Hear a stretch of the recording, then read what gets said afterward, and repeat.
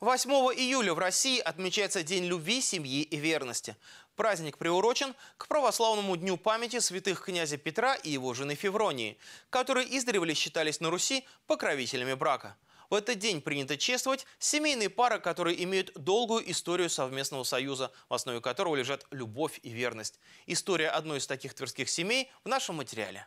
Союз Сергея и Елены Новиковых – это не только тандем семейный, но и профессиональный. Вот уже несколько лет супруги развивают на территории Твери детский автоспорт. Сергей – тренер, Елена – президент Федерации автомобильного спорта Тверской области.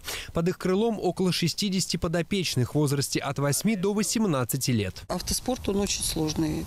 Мало того, что нужна тренировка, нужна техника. Техники в школе нет, к сожалению, поэтому техника, все это на нас висит. А началось все 40 лет назад, в далеком 1979 году. В то время будущие супруги работали на Тверском заводе электроаппаратуры. Сергею было 20 лет, Елене 18. Между ними случилось то, что обычно принято называть любовью с первого взгляда.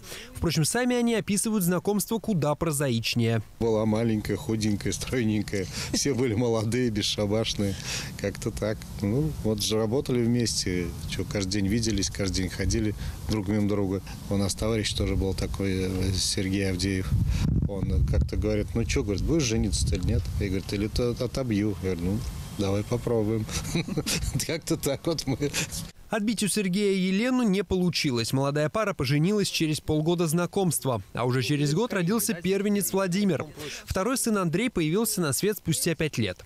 И все как-то между делом, рассуждает Елена. И рождение детей, и окончание обучения в институте, и получение второго образования. Своим ходом и чередом. Наверное, потому что всегда рядом любящий человек, который во всем поддерживал и помогал. Трудности, конечно, как и во всякой семье. Воспитание детей трудности, тем более два мальчишки росли, папа постоянно по командировкам ездил.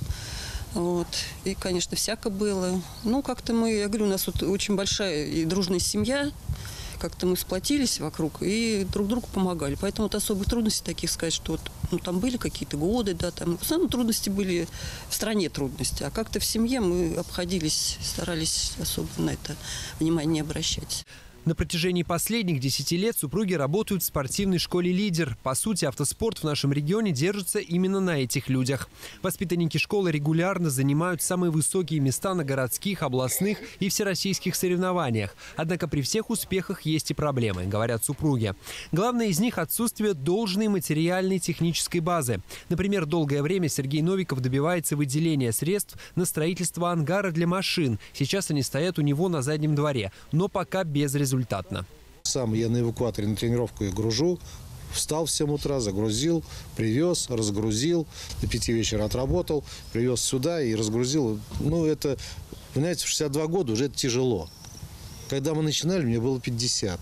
Тем не менее, несмотря на все сложности, супруги Новиковы не оставляют свой любимый спорт. Более того, по стопам родителей пошли и оба сына.